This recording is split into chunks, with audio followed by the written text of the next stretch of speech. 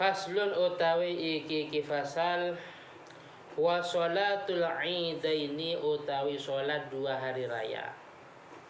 Wa sholatul idaini utawi sholat dua hari raya ail fitri tegese hari raya fit fitri.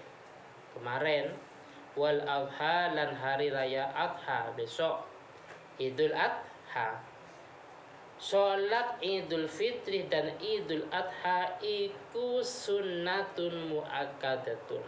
Sunnatun iku sunnah muakkadatun yang dikeluarkan. Wa tusra'u lan dilaksanakan. Opo sholat jemaatan hale berjemaah jemaatan hale berjemaah Terus wamum ada lamnya tak? Oh berarti wali munfaridin lan kedui munfarid atau sholat sendirian. Wali munfaridin lan kedui munfarid atau sholat sendirian. Wa musafirin dan bagi musafir orang yang bepergian wahurin lan bagi budak hmm, merdeka. Wa abdin lan budak. Wa khunsa apa khunsa bencong.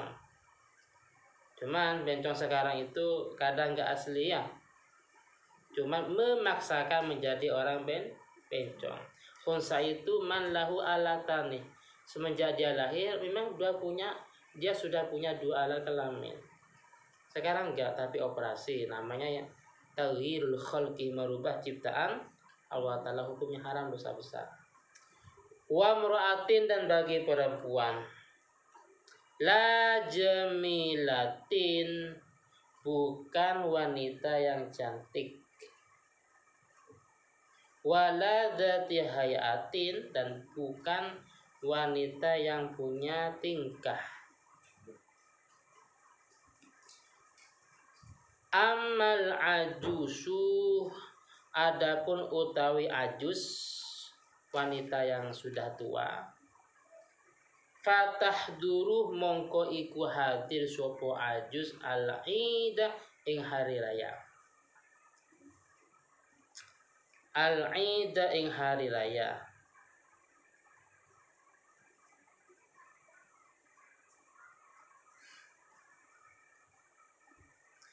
fi siyabih baitiha ing dalam pakaian rumahnya Ajus. Artinya pakaian yang dipakai sehari-hari. Paham ya? Baju yang dipakai sehari hari-hari.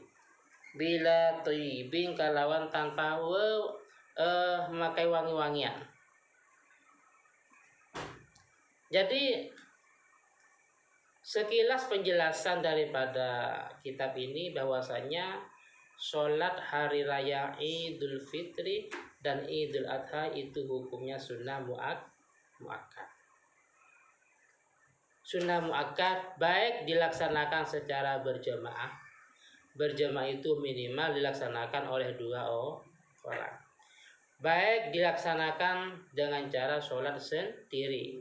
Berarti nggak pakai khutbah ya sahur bermusuk dia jadi imam jadi khotib jadi mustami'ah. Nggak mungkin kan?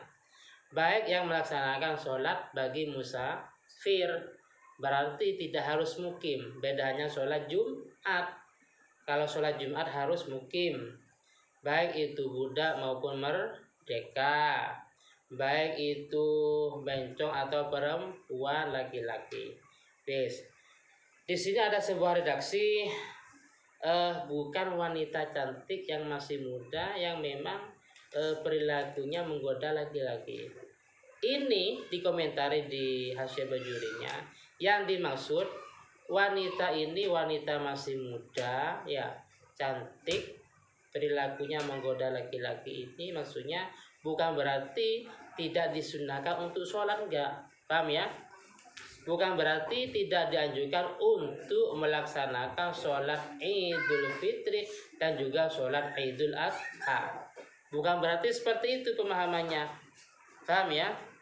Jadi ada walaisa kadzalik bal tusannu lahuma bahkan tetap hukumnya sunnah lakin akan tetapi la yahduroni tidak usah hadir ke tempat sholat yang ramai entah itu masjid, musola atau lapangan.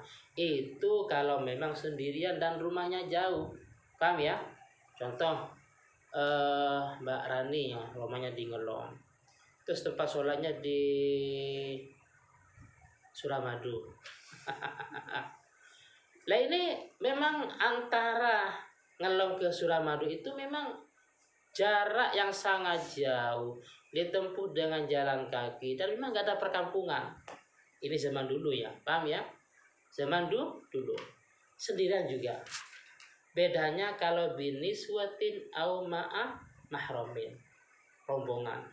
Atau ada mahramnya entah itu orang tuanya atau suaminya. Itu zaman dulu. Lah sekarang ya masjidnya di Bahudin rumahnya di sini.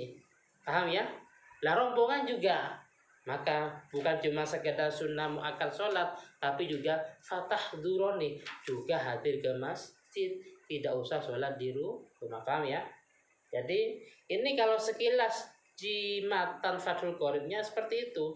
Oh berarti wanita yang masih muda, yang cantik, yang menggiurkan laki-laki itu berarti nggak dianjurkan sholat. Ah sekilas daripada matan fasul koridnya maka di komentar di sini di uh, dikomentari wahadal istisna ghair dhahir ini nggak jelas kenapa li'annahu tadi annahu la yusannu lahum sholatul idain seakan-akan bahwasanya bagi wanita yang masih muda, cantik dan menggoda ini seakan-akan tidak dianjurkan, tidak disunahkan untuk sholat hari raya. Entah itu Idul Fitri maupun Idul Adha. Tapi walaisa katolik bukan seperti itu.